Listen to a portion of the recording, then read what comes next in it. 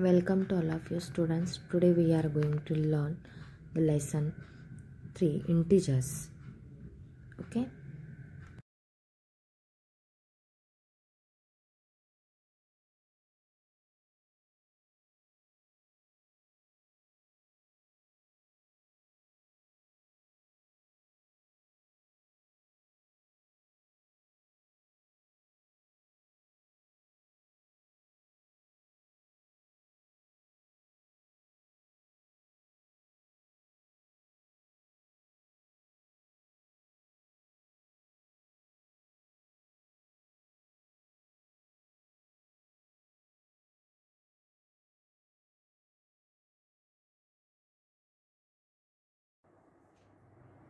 Namaste student.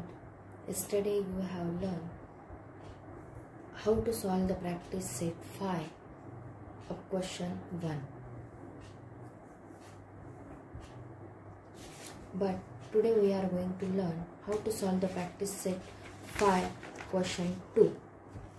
Look at this carefully student.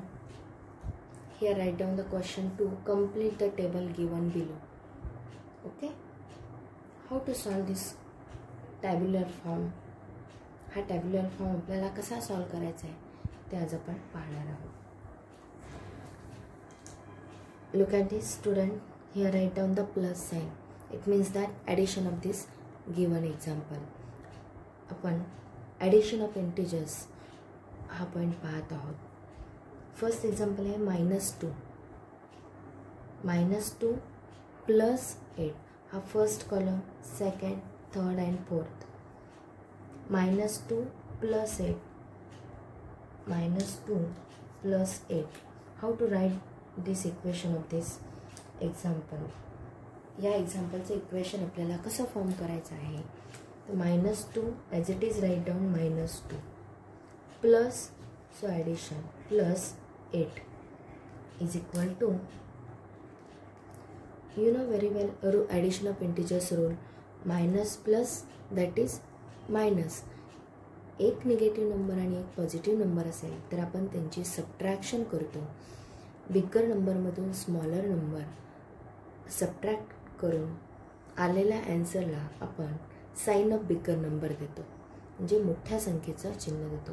Minus plus that is minus. It means that eight minus two. Eight minus two that is six. And sign a bigger number that is 8 is a bigger number than minus 2 so 8चं sign आहे plus so here right down plus sign दिले तरी चालतं आणि नाही दिलं तरी चालेल. Okay then minus two here right down मा सेकंड कॉलम पाहतो आपण. Minus two minus two as it is right down plus as it is write down this is 4 so minus 2 plus 4 is equal to one negative number आणि one positive number असेल. तर आपण काय करतो?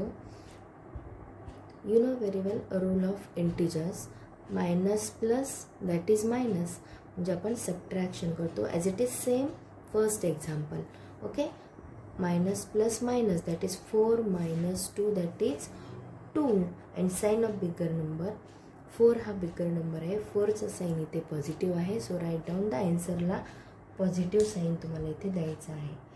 Okay then third example minus two minus two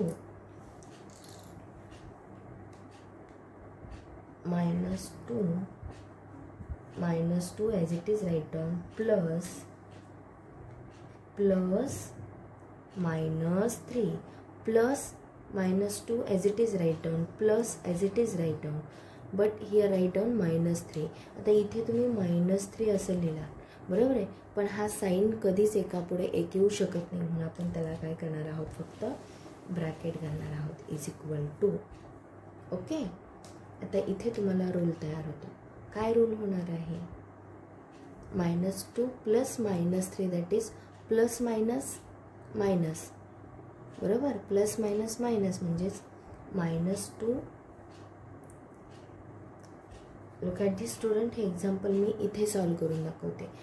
ब्रॅकेटमध्ये आपलं बसत नाही okay minus two plus minus three is equal to हे minus two as it is right down but you know very well plus minus minus so minus three हे काय येणार आहे?